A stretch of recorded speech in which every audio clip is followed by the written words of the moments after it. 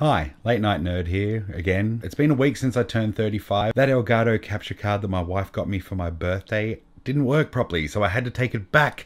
Sorry, no gameplay videos coming quite as often as I thought they would be. There's a lot of big game releases over the next couple of weeks. I'll obviously we'll be talking about those. Though I am having my birthday party slash Halloween party next week. Should be fun. Still organizing it.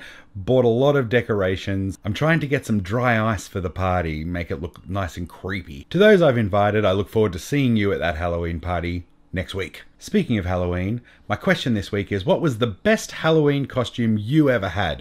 Uh, put your answers down in the comments and uh, I'll read out some of them next week if they're any good. I've been sick for the last week, which is why I haven't made any vlog updates, but I'm still keeping positive. I'm obviously doing a lot better now. All right, there's not a lot to talk about in this week's vlog post. It's more about things that are going to be happening over the next few weeks, but I wanted to touch base and let you know I'm doing just fine. Positivity is still up and I hope yours is the same. Don't forget to subscribe and we'll see you soon.